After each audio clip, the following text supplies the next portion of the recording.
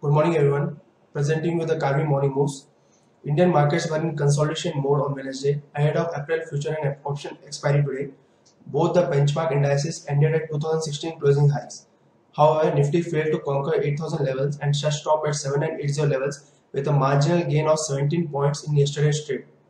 Rally in crude oil to 2016 highs helped market to stay in positive territory, but the gains were limited ahead of US and Japanese central bank policy decisions. Meanwhile, on the global front, European ended on a positive note ahead of FOMC rate decision, while US markets ended on a mixed note, reacting to the clueless comments from FOMC, where they had kept an option for June hike with economic data placed as a key trigger. However, Asia markets keenly waiting for the outcome from Bank of Japan's monetary policy, which due now and trading on a positive note.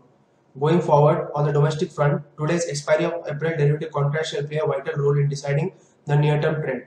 Moreover, quarterly results from the companies lined up in the coming sessions shall trigger stock-specific action and induce volatility in the markets. Companies like ACC, Ambuja Cement, Canfin Homes, Dabur, Granules, HCL Tech, Idea, Tata Elxsi and VEDL shall announce their quarterly performance today.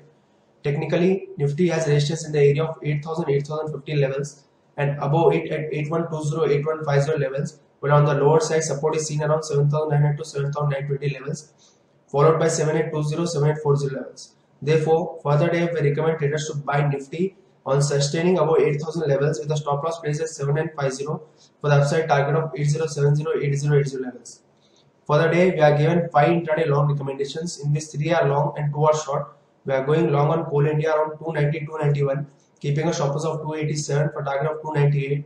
We are going long on Amara Battery around 934-936, keeping a stop loss of 919 first target of 960. We are going long on Bank India around 97-98, keeping a stop loss of 96 for target of 101.